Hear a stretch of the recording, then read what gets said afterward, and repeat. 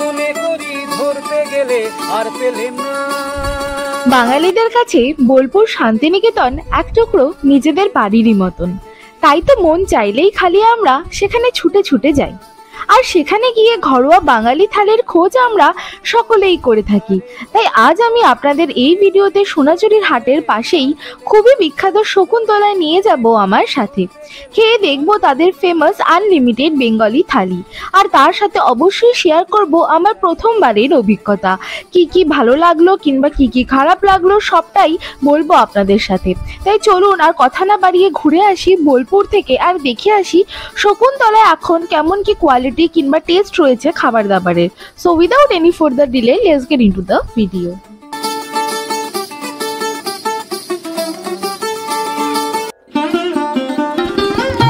এটি হলো Shakuntala village resort এবং রেস্টুরেন্ট। এই শকুন্তলা রিসর্ট এবং রেস্টুরেন্টটি কিন্তু রয়েছে সোনাঝুরি হাটের একদমই অপোজিটে যেমনটা আপনারা দেখতে পাচ্ছেন। এখানে কিন্তু হোটেল রুমসও পাওয়া যায়, কিন্তু আজকে সে নিয়ে আমরা কথা বলব না। আজকে আমরা খেয়ে দেখব এনাদের ফেমাস বেঙ্গলি থালি। তো বাইরে থেকে শকুন্তলা দেখতে অনেকটা এই রকম প্রথমে বলে রাখি, এখানে কিন্তু ভেতরে কাউন্টার থেকে টিকিট কেটে প্রথমে আপনাদেরকে টোকেন নাম্বার নিয়ে দেন ভেতরে যেতে হবে। কিছুক্ষণ ওয়েটও করতে হতে পারে। আর এনাদের একটা আউটডোর সিটিং রয়েছে আর একটা ইনডোর সিটিং রয়েছে, যে দুটোই কিন্তু আপনাদেরকে আজকে আমি ঘুরে দেখাবো। তো এখন আমরা ওয়েট করছিলাম আমাদের ওই টোকেন নাম্বারটার জন্য, তো টোকেনটা কেটে দেন এবার আমরা ঢুকবো শকুন্তলায়।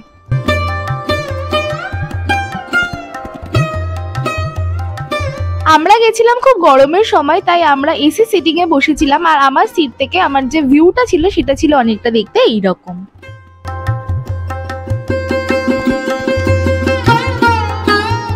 আমরা এসে বসে গেছি শকুন্তলাতে। এখানে তোমরা দু ধরনের সিটিং এরিয়া পেয়ে যাবে। একটা হচ্ছে এসি একটা নন এসি বাইরে প্রচণ্ড রোদ নন এসিতে বসে আমার পক্ষে সম্ভব হচ্ছিল না। তো আপাতত সিটিংয়ে বসেছি বাট এখানে সিটিংটা হচ্ছে লোয়ার সিটিং তো ভালোই লাগছে, মোটামুটি এসি আছে বলে এখন ওই মাটিতেও বসে যেতে পারলে বসে যেতে পারি।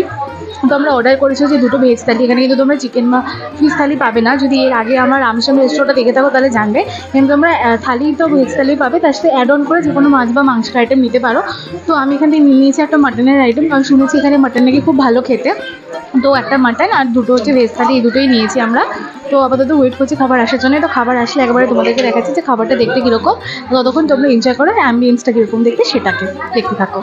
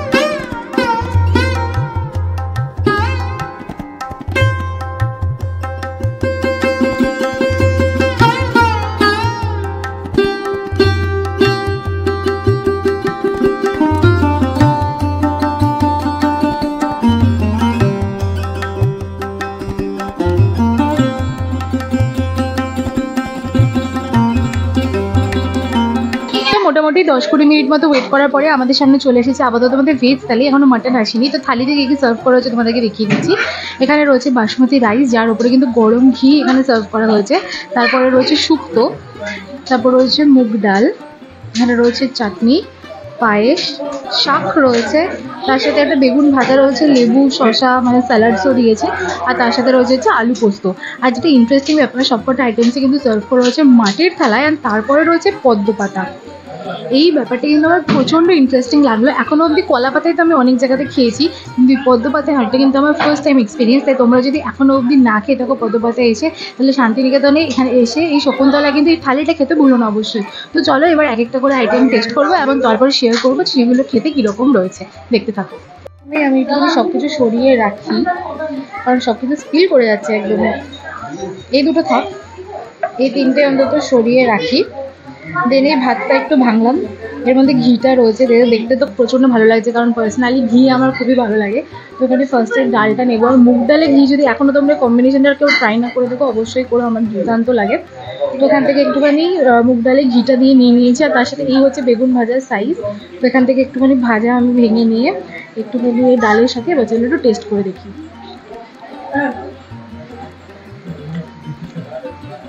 সো গুড প্রথমত যেমনটা বললাম, মুগ ডালের সাথে ঘিয়ের কম্বিনেশন আমারও দুর্দান্ত লাগে। ডালটা একদম পুরো সফট ফ্লেভার রয়েছে, খুব পাতলা করে ঘরোয়া স্টাইলে মুগ ডালটা রয়েছে, তার সাথে যখন বেগুন ভাজাটা দিচ্ছে, ঘিটা দিচ্ছে, যে দুর্দান্ত লাগছে। বাইরে প্রচুর শপিং করে গরম হয়ে রোদের মধ্যে এসে বসেছি। তো ফার্স্ট এটা জাস্ট আমার অমৃতের মধ্যে এতটা তৃপ্তি দিচ্ছে সো সো গুড তো তারপরে আবার একটু একটুখানি ভাগ নিয়ে নিলাম। এখানে শাকটা প্রোভাইড করা হচ্ছে। আমি খুব একটা ফ্যান নই শাকটার। তবুও একটুখানি আমি মেখে তোমাদের জন্য জাস্ট টেস্ট করে দেখি যেটা কী শাক বা এটা কীরকম কী ফ্লেভার রয়েছে। চলো একটুখানি খেয়ে দেখা যাক।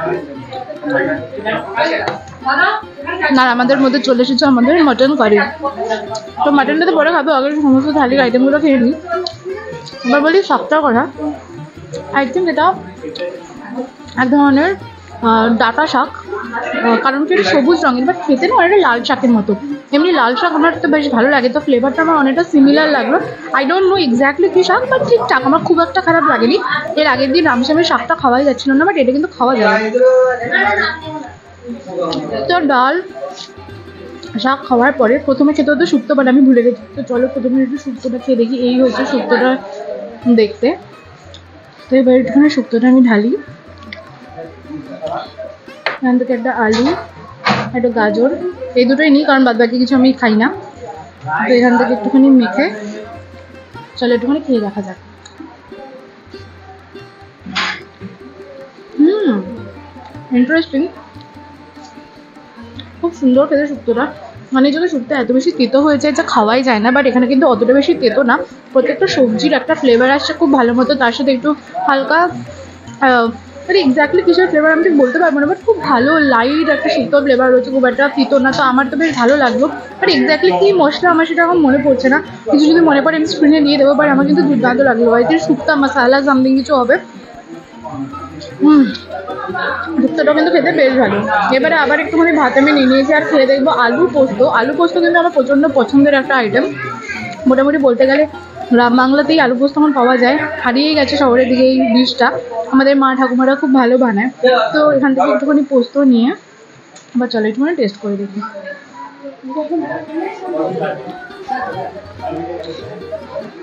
হুম নট ব্যাড পোস্তর ফ্লেভারটা ওভার পাওয়ারিং না, বেশ ভালো। আর আলুটা কিন্তু একদম পারফেক্টলি সেদ্ধ হয়েছে। খুব সুন্দর একটা ঝাঁঝালো ব্যাপারও কিন্তু রয়েছে। আর এই যে পোস্তর যে ফ্লেভারটা সেটা আলুটার মধ্যে খুব সুন্দর ইনফিউজ হয়েছে। তাই শুক্তোটাও কিন্তু আমার দুর্দান্ত লাগল।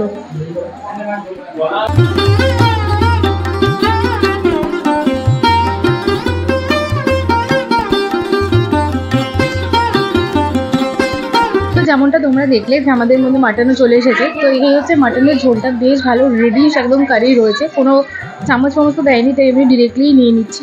তো একটুখানি মাটনের ঝোল আমি নিয়ে নিয়েছি। ক পিস আছে আমি তোদেরকে দেখাই। এই হচ্ছে এক পিস বেশ বড় সাইজের রয়েছে। এই হচ্ছে আরেক পিস এটাও কিন্তু বেশ বড় রয়েছে। মানে একটা ছোটো একটা পিস তো মোটামুটি দু পিস মাটন কিন্তু এখানে দেওয়া হয়। তো তোমাদেরকে এবার মাটনটা জাস্ট খুলে দেখাই জাস্ট লুক অ্যাট দিস এই ধরলাম আর মাটনটা কিন্তু জাস্ট ভেঙে গেল তুলোর মতো। তো এখান থেকে একটু মাটন আমি নিয়ে নিলাম। তার সাথে এখানে একটুখানি ঝোল আমি নিলাম। এবার চলো মাটনের ঝোলের সাথে মাটন নিয়ে একটুখানি ওটা টেস্ট করা যাক।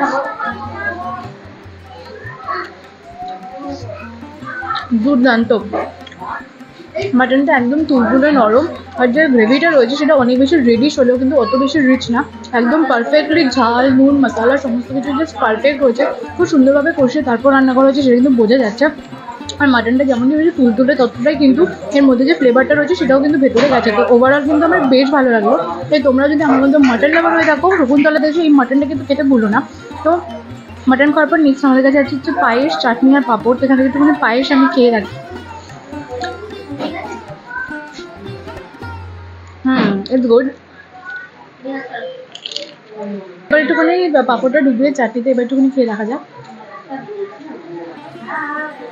হুম ইটস গুড ওভারঅল বলব, যদি তোমরা ননভেজ লাভার না হয়ে থাকো, তোমরা এমনিও থালিটা নিতে পারো। আর যদি মাটন লাভার হয়ে থাকো মাটনটা কিন্তু দুর্দান্ত লাগবে তো চলো, আমি আমার খাবার দাবারগুলো কমপ্লিট করে নিই। এরপর তোমাদের সাথে বাইরে দেখা করছে আমার honest review of two minutes দেখতে থাকো।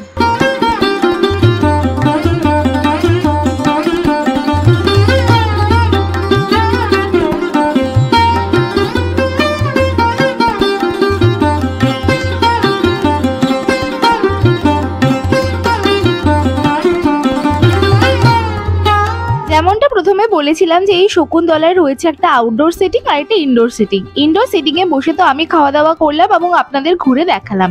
এবার চলুন আপনাদেরকে দেখাই এদের আউটডোর সিটিংটা এদের আউটডোর সিটিংটা কিন্তু রয়েছে দোতলায়।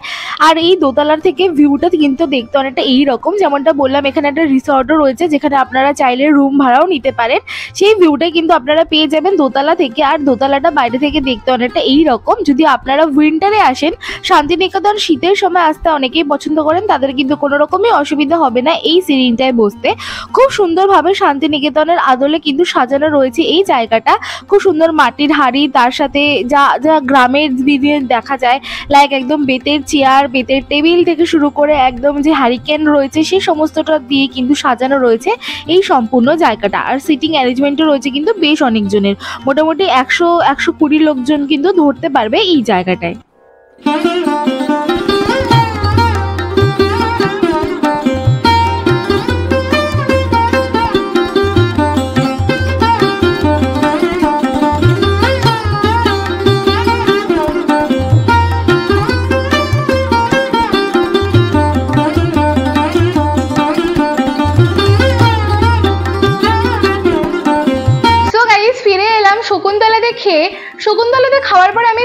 এমনি তো ওভারঅল তোমরা যদি বাঙালি থালি খেতে চাও, তাহলে কিন্তু বেশ ভালো তোমরা যেতেই পারো।